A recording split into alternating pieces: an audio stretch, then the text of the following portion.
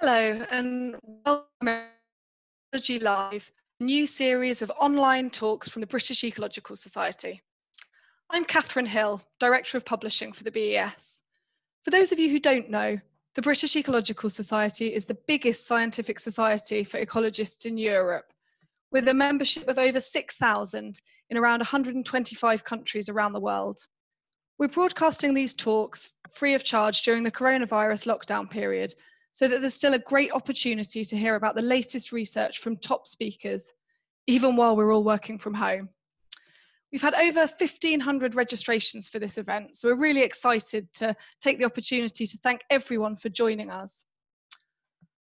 I'll shortly hand over to our first speaker, uh, the President of the British Ecological Society, Jane Memmott, who's giving today's seminar. But just first, let me quickly explain. There'll be a short question and answer, answer session at the end of this talk. You can submit your questions throughout the talk using the Q&A box, so there's no need to wait until the end. We'll then pick a couple of questions to ask our speaker at the end of this session. We're also recording the talk and we'll post the video to YouTube afterwards. Right, without waiting any longer, let me introduce today's speaker, Jane Memmott, and she'll be speaking about pollinators, their ecology and conservation. So Jane, over to you.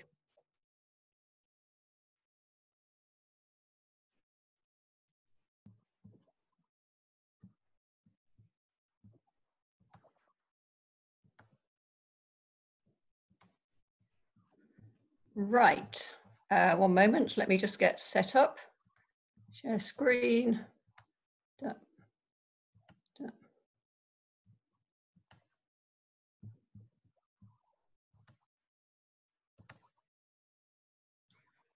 Right, um, it's lovely to be here in the uh, comfort of my own lounge. So I'm going to be talking about pollinators, their ecology and conservation. Uh, what I'll do over the next 25 minutes or so is tell you a little bit about how I came to work on pollinators, what got me hooked, and then I'll tell you about three projects that kind of capture the, the flavour of what we do here in Bristol. There'll be some early work on restoring pollinators, um, the first project on urban pollinators, looking at an, early, an alien plant living in urban habitats, Himalayan balsam, and the effect that has on pollinators.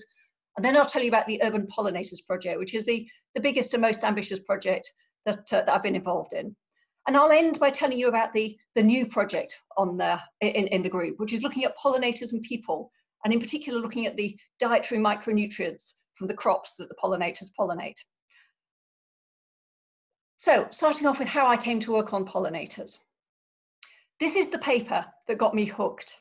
Um, this is a paper back in 1996. I'd been in Bristol literally just a few months, and it was in the old days when you, when you went into the library, the old paper copies were on the on the shelves with the new topics um, there at the uh, you know there on view. And the cover article and this particular copy of uh, Ecology had a picture of a pollinator on the front, and I picked it up. And this is the paper that inspired me to be a pollination biologist. I've been interested in pollinators, but I'd never actually worked on them. So it's a paper by Nick Waser and, uh, and colleagues called Generalization in Pollination Systems and Why It Matters. And, and the, the, backdrop is that up until this point, people were very interested in specialization in pollination systems.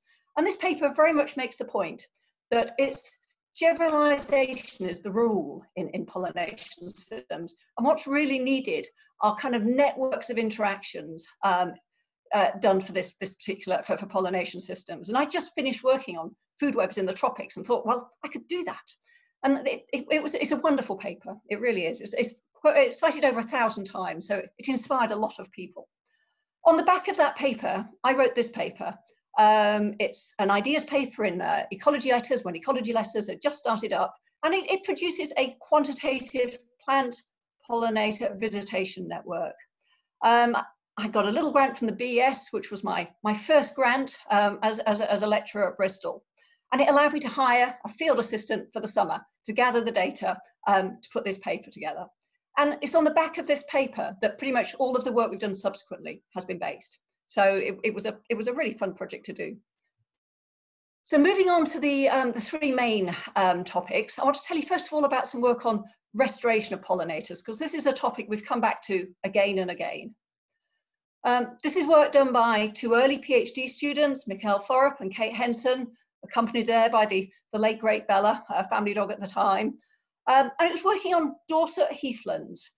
Now, a quarter of European heath is found in Britain, um, but 80% of Dorset heathlands have been lost to, to forestry, which is what you can see in the background there, to building, and so on. And what we were interested in doing was looking at restoration of the ecological interactions on, uh, on heathlands and, and on restored heathlands and focusing in on pollinator communities. And in fact, it's a little bit wider than pollinator communities because as well as doing pollinators, we did the things that eat pollinators, so the parasites, pathogens, and parasitoids in the system as well. So this is kind of a, a snapshot of the sort of data we're gathering. It's a, a, a tritrophic web. At the bottom, you've got the flowering plants. So on heathlands, you've not got many common plants actually. You've got heather and erica and, and ulex. Um, in the middle, you've got your pollinators. I've just got the bumblebees showing there, but we looked at the whole community, all the hoverflies and non-syrphid diptera and beetles and so on. And then at the top, you've got the things that feed on the, uh, the bumblebees. And bumblebees are amazing. I remember Kate saying when she was dissecting bumblebees that each bumblebee was like a Christmas present. You never quite knew what was going to be inside.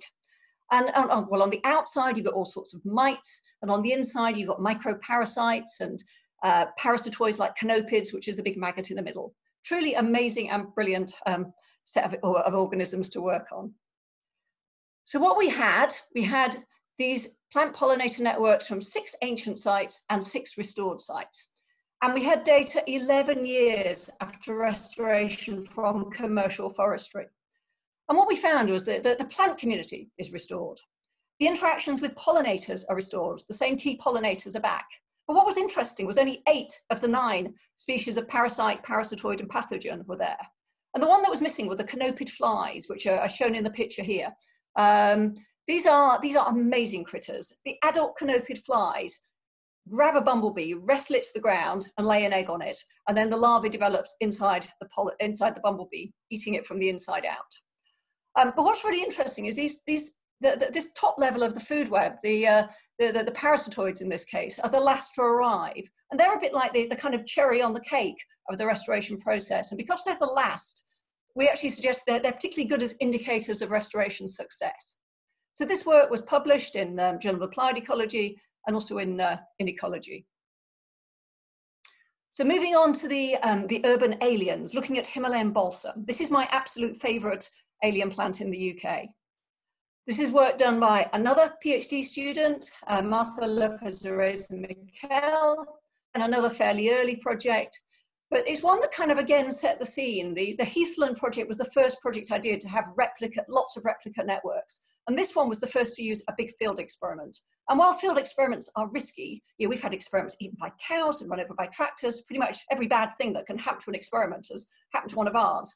But they're also one of the, the best ways to actually really get to grips with what's going on. So this is Martha standing in a patch of balsam. Balsam's been here since about the 1830s and is one of the top, top 20 weeds. And this, this is the paper that inspired this project. This is a, a Nature paper by Lars Chittka and somebody Schürkens. And what they showed was using a three species system. So they've got balsam, they've got a native plant, marsh woundwort, and they've got uh, pollinators uh, linking the two plants. And they showed that the balsam indirectly affects the, it reduces the visitation and the seed set of the balsam, doing that by basically appropriating the shared pollinators. Balsam has 10 times more nectar than any native plant, so the pollinators go there. And what Martha wanted to do was to actually test the community-wide level effect of balsam. So rather than keying in on, on, one plant, she wanted to look at the whole community. And so she had replicate networks and she ran a big field experiment. And this is what her experiment looked like. she had four control plots. These are just in Bristol. We only had money to get around by bike on this project, so it was all within cycling distance of the department. Four control plots of balsam, and then four experimental plots where the experimental treatment was to remove the balsam flower heads every single week. So Martha and a field assistant went into these plots with a pair of scissors and removed all of the flowers. So our raw data are eight networks of interactions within this experiment. And underneath that kind of canopy of balsam is an understory of, of native plants, just about hanging on in there and still flowering. So what she found is when balsam's present, when you're looking at all the species in these networks, you've got a greater pollinator abundance. You've got more pollinator species.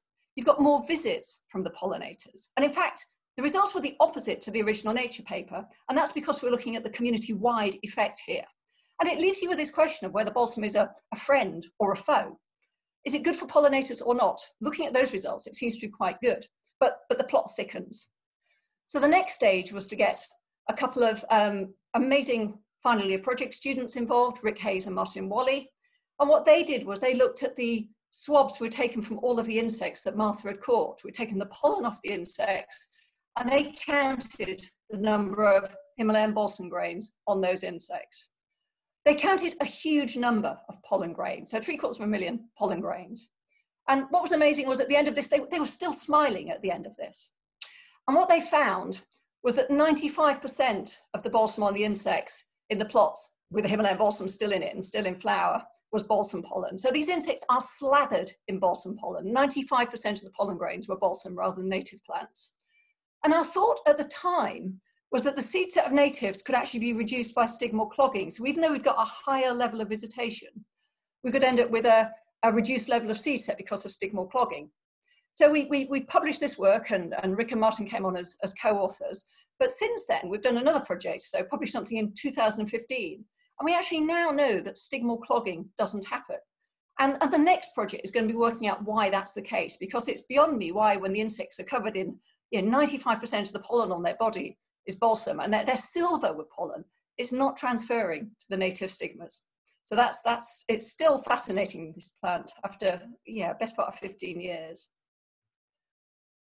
So moving on to, um, to, the, to the biggest project, to the Urban Pollinators Project. This, is a, this was a consortium project run between four universities, so Bristol, Reading, Leeds and Edinburgh. Uh, so myself in Bristol, Simon Potts in uh, Reading, Bill Kunin in Leeds and uh, Graham Stone in Edinburgh. And right from the very beginning of this project, we had conservation practitioners involved. They were written into the original proposal. Um, and they're the people that buy nature reserves, manage nature reserves, and so on. So, so they can do a suite of things that academics can't do. And then we had a team of, of brilliant taxonomists at the National Museum of Wales, so that we could get all of our insects identified right down to, to Latin binomials. And this was part of the, the Insect Pollinator Initiative. So nine of these large consortium projects were, were funded, looking at the various woes that affect pollinators um, in, in the UK. We had three questions we were asking. We're asking where exactly is the pollinator biodiversity in the UK? Is it in urban habitats, farmlands or nature reserves? And this was the first systematic study to ask that. There's lots of projects in these individual habitats, but this is the first time they'd been compared systematically. And then the second question was, if you beam in on individual cities, where are pollinators in those cities? Cities are a matrix of all sorts of different types of habitats. And then the third question was what we can do, what can we do to improve pollinator biodiversity and abundance in urban habitats? And, and the aim was to do this in a really well replicated way where we look at all of the habitats in, in cities, not just say the good habitats. We look at everything that was in a city. And we look at all of the pollinators and their interactions with the plants. So starting off with the, uh, the, the, first question, and that this is the amazing team of people that actually did all the, uh, the field work and gathered the data and, uh, and, and, made the project work. So it was headed up by uh, Kath Baldock, um, and then Anna Scott was the uh, queen of the GIS, so there was some industrial strength mapping needed in this project. And then there was a whole team of people, each based in, uh, one of them based in each of the four universities and equipped with two field assistants, so we had eight field assistants each year. And then the final part was the, uh, we had a modeler, a young physicist called Philip Staniczenko, and actually physicists can do the sorts of models that us ecologists can only dream about. So that's the team. And moving on to this first question, where are the pollinators in the UK? What we did was we sampled 12 cities, 12 farms, and 12 nature reserves. And we did this right across the UK. So we did it from um, Dundee to Southampton to Cardiff. So scattered across the UK. And in each each site, each of those 36 sites, we had a one kilometre square plot that was gathered using, which was selected using this industrial strength GIS according to a whole suite of rules. And then that plot was very systematically sampled where all the habitats in each plot were sampled according to their overall abundance. And then picking out just one result, there's a lot of work, uh, results on this particular part of the project, but the, the, the, key result, the most interesting result to me, was that there's significantly more bee species in cities than in the surrounding farmland. So cities can be really rather good for pollinators. Um, the alternative explanation is the farmland is completely hopeless for pollinators, but, but cities overall come, come out of this looking rather good. So there's this and a whole bunch of other results in our proceedings of the uh, Royal Society paper. Then the next stage is asking where are the hotspots of pollinator biodiversity in cities? So cities are, I say, this, this, this matrix of all sorts of different habitats. And we wanted to know where the pollinators were in each city. So this is what a, a bit of Bristol looks like. This is a fairly typical city. You've got a mixture of gardens, parks, road verges, cemeteries and churchyards, urban nature reserves, and allotments or community gardens. You've then got a kind of a hold-all category called other green space, which is all of the things that aren't listed on the top. So they're all the odds and sods of yeah, a bit of green grass outside a housing association um, area or something like that. And there's a surprising number of those. We've got man-made surfaces, all those concreted bits. We've got railways and roads and pavements and water bodies. And we looked at every single one of these habitats well replicated in four cities. Uh, actually with three exceptions, take that back. The three habitats we didn't look at were water bodies. There's no aquatic pollinators, so no need to sample those. And then roads and railways, we didn't look at either, simply because of health and safety considerations. You simply cannot sample at the middle of roads or railway embankments, but they're a minuscule part of each city's area. All those other habitats we looked at. So looking at the, um, the, the, sampling protocols, we were working in Bristol, Reading, Leeds and Edinburgh. And again, a very systematic sampling protocol uh, where we've got replicate habitats in replicate parts of each city. We found 390 uh, flower visitors, 641 plant taxa, again, counted a huge number of floral units. And our raw data are 360 local plant pollinator networks. Okay, so 90 networks per city is what the raw data looks like. And you can just see some of the everyday scenes of life on the Urban Pollinators project down below. And then these are the sorts of results that are coming in. This, this is showing the mean abundance across the um, four uh, the, the different types of um, the nine different habitat uh, land uses um, in the four cities. The four cities are color coded, red, uh, red, blue, green and yellow. And if you go across the bottom, you've got the number of pollinators in allotments, gardens, cemeteries, nature reserves, parks, other green space, road verges, pavements, and man-made surfaces. And, and as expected, there's a lot of pollinators in gardens. We already knew that. We did not expect to see quite as many allotments. Um, allotments tend not to be, they, they haven't really been on people's radar. They're seen as a vaguely agricultural, not very interesting habitat, but they're extraordinarily good for pollinators. And then in the figure below, um, that actually shows you the proportion of each land use in each city. And the interesting thing here is, first of all, how, how consistent they are. These are four rather different cities in some ways, but in each city, there are quarter to a third gardens, um, allotments are less than 1% of each city, and there's a large amount of this other green space, okay? So what you can do with those two sets of data is do some kind of opportunity mapping for where conservation would be most useful in cities. And let me explain how we do that. So opportunity mapping for conservation measures.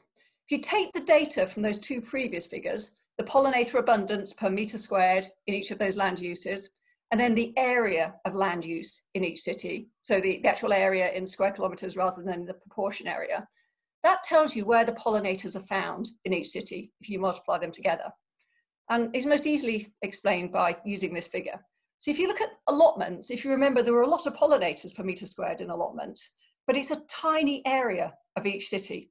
Um, and there's, there's, yeah, there's, there's, there's, it's a small area with lots of cities, so it actually contributes rather little, but it's got the potential to expand. If we had more allotments, we'd have possibly more pollinators and a lot of happy people as well. So there's always waiting lists for allotments. Um, the, um, if you look at gardens though, you've got a large area and lots of pollinators. So most pollinators in cities are in gardens, but they could be even better. There's an awful lot of decking and artificial turf and kind of mow lawns in, in gardens, so we could make them much better. And then the opportunities, though, are really in the parks and other green spaces. There you've got a large area, but very few pollinators. So there's huge potential for improvement there. Right, moving on to the last question, what we can do to improve pollinator biodiversity and abundance in urban habitats. So we're wanting to make cities better for pollinators and you've got two choices. You can increase the quantity or the quality of habitats, okay? So you can make something good, make much more of it, or you can make poor habitats much better. And we're going to do that in a modeling scenario. And our response variable, and this is the thing that makes this work rather different to anything else, is rather than having abundance of pollinators or species richness as the response variable, we're going to have city-wide robustness.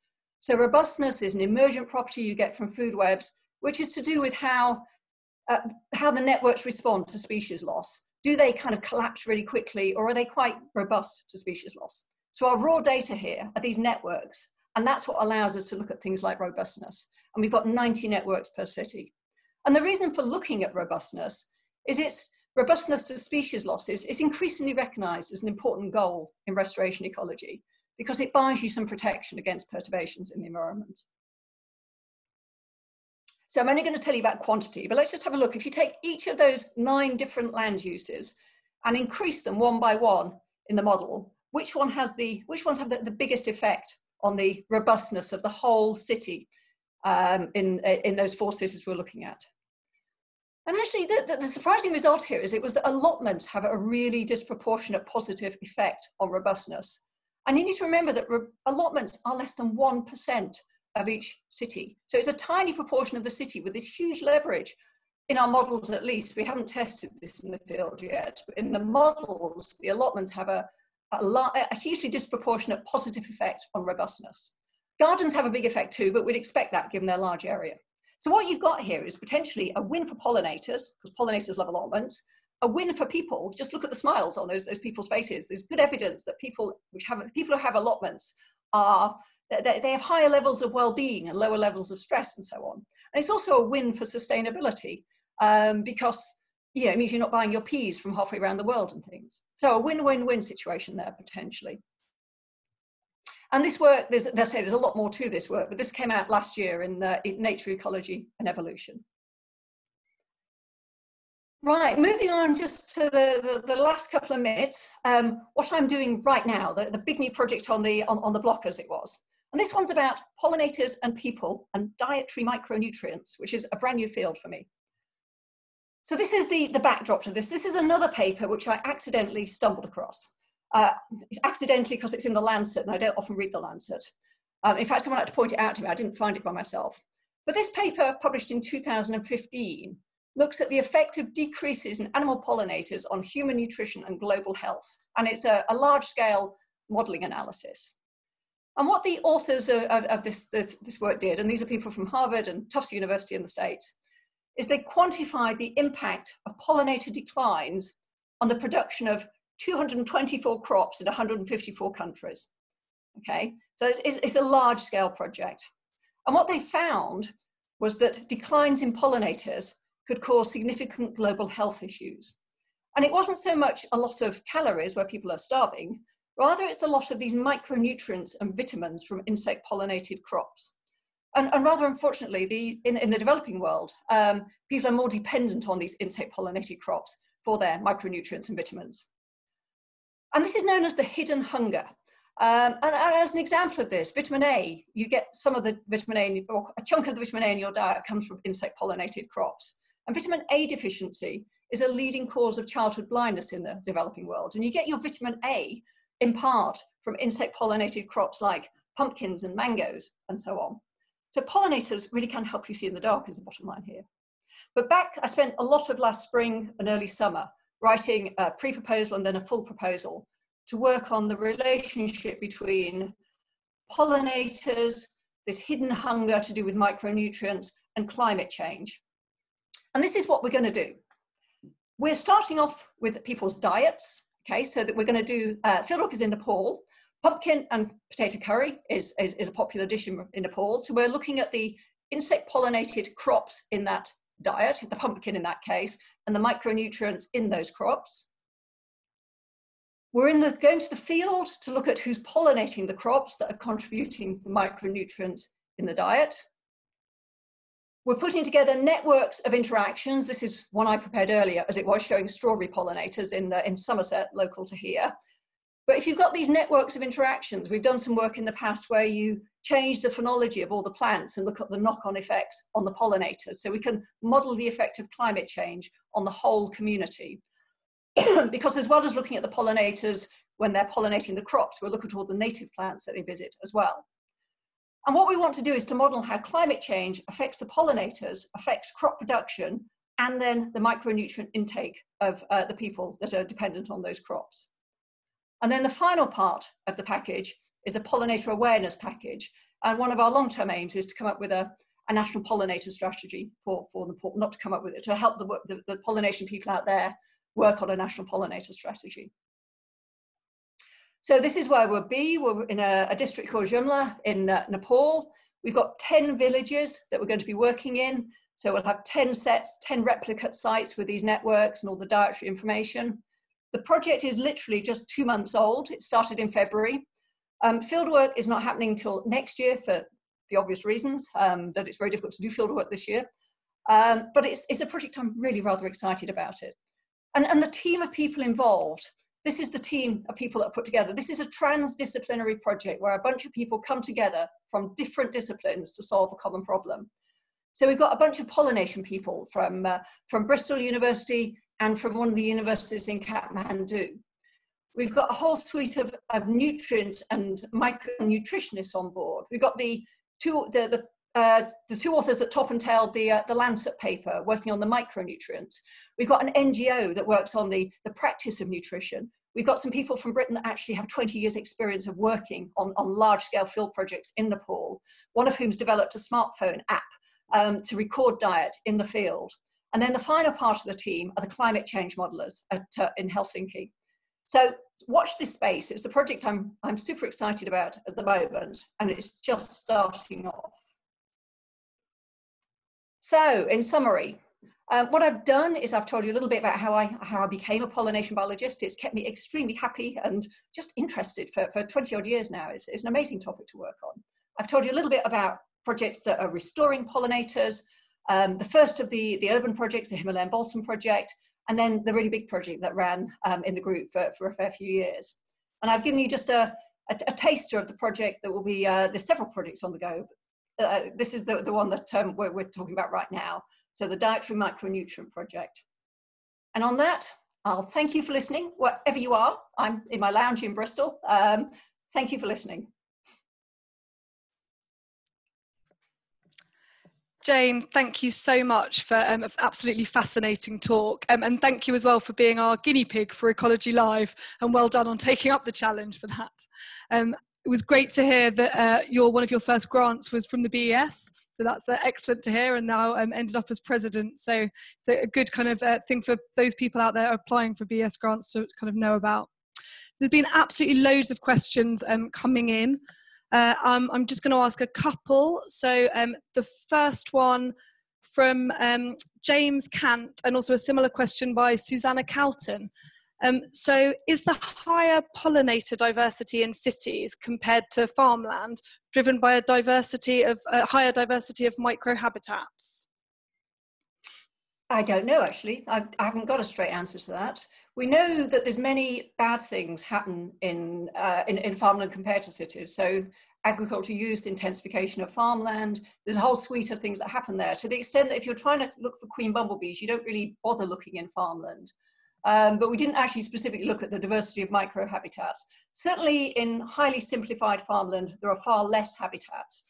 And I think one of the reasons that allotments are so good is that there are, there are lots of different types of habitats. Even on the scale of an allotment, you've got the kind of veggie bits, you've got the, the kind of rough grass around the edge, you've got the hedgerow, you've got the trees, you've got the old sheds for nesting underneath. So that heterogeneity of habitats is almost certainly important but we didn't unpick the, um, the, the, the habitat heterogeneity on, on the farmland side of things. Future project. Great, thank you. yeah, absolutely. Um, and do all farmlands have the same type of management? So, e.g., with herbicides versus organic? Um, and would you expect that the farming type of practice would modify the results on the diversity of pollinators? Um, so, this was a question from um, Florencia Yanelli. Yeah, we know that on average, organic farms tend to have a higher diversity of, of, of, most of the groups that have been looked at, not all, but on average. So farming systems will certainly um, affect things. Again, we had a whole series of rules for um, choosing farmlands, but we had, I can't actually remember if we had the organic farm in there or not, but it, it will affect them. But we had a fairly standardized set of 12 farms that we were looking at. So we weren't comparing organic farms with conventional farms or anything like that. So, um, but it, it, certainly farming practice does affect farms. The way we farm, what we need to do is produce more food more sustainably. That's the mantra of the times. And that involves leaving those semi-natural bits of habitat. Little tiny areas on farms can have a hugely disproportionate effect. So hedgerows are only 5% of farm area, but awful lot of the biodiversity on, uh, on farms are in hedgerows. So there's little patches. If they go when fields get bigger, then you know you do lose a lot of stuff. But it is reversible is the positive take home there. You can put them back again. So okay. It's good to hear. Um, and finally, uh, from Chris Thomas, how many more books do you think you can get in your bookshelf, Jane? uh, we, we are actually we are planning on extending it because there's a room next door. one of my kids refuses to go because she's worried about them falling on her. So um, never ever have too many books. And actually, right now they're a, a safe place for uh, keeping us all yeah sane in these rather crazy times. Absolutely, very useful for this period. Yeah, at the moment is leading the world in really high quality natural history writing. There are some astonishingly good books out there. And so for relaxing, I read novels. And I also read some of the things like The Running Hare by John Smith Hempel, or, or the book that I've really, really just enjoyed is Ben Macdonald's book on rewilding, rebirding it's called. So that we are okay. leading the world in this really high quality natural history writing. So if you need a sanity saver, have a look to see what's out Great. there if you have any more recommendations, um, send them across to the BES team and we can tweet about them because I'm sure people would love to hear about some more um, great natural history books to uh, read at this time. Yeah. Okay, I'm going to end it there um, given the time, but I just want to say a huge thank you again, Jane, for um, joining us for Ecology Live and being our first inaugural speaker for this uh, series. So thank you. You're welcome. I'm very pleased it worked. Um, it did. The technology all went well. Good. Okay. Uh, um, and uh, so that brings ecology today's ecology live to a close. Um, a huge thanks again to jane for being our first speaker. Um, and next week at the same time we'll be welcoming professor kai chan from the university of british columbia. Um, and kai will be presenting his talk on transforming, transforming supply chains to save nature relational values and a community of heroes. So i hope to hear that many of you can join us for that Finally, if you enjoyed this talk and want to find out a little bit more about the BES, please do take the time to visit our website and read more about membership and uh, becoming part of the BES community. Um, a huge thanks again to all of those of you who've joined us. We've got up to a thousand participants um, who've joined us online, so that's absolutely fantastic. And we look forward to seeing you again next Thursday. Many thanks.